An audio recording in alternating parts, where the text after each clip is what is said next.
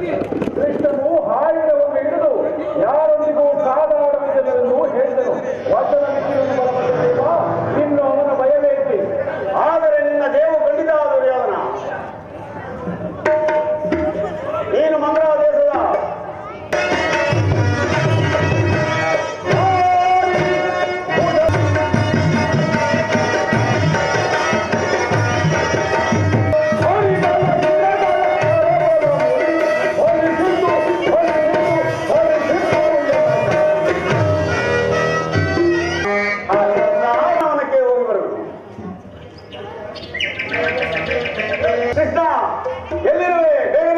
ಕೃಷ್ಣ ನನ್ನ ಬಗ್ಗೆ ಈ ಗೋಮೃತ ಬಂದಿದಲ್ಲ ಈಗ ಏನು ಮಾಡೋದು ಕೃಷ್ಣ ಶಿವ ಶಿವ ಎರಡು ದಿವಸ ಮೂರ್ತ ಭೂಪ್ರದರ್ಶನ ಮಾಡಿಕೊಂಡು ಬರುತ್ತೆ ಕಣ್ಣ ಸ್ವಲ್ಪ ನಿಧಾನಿಸು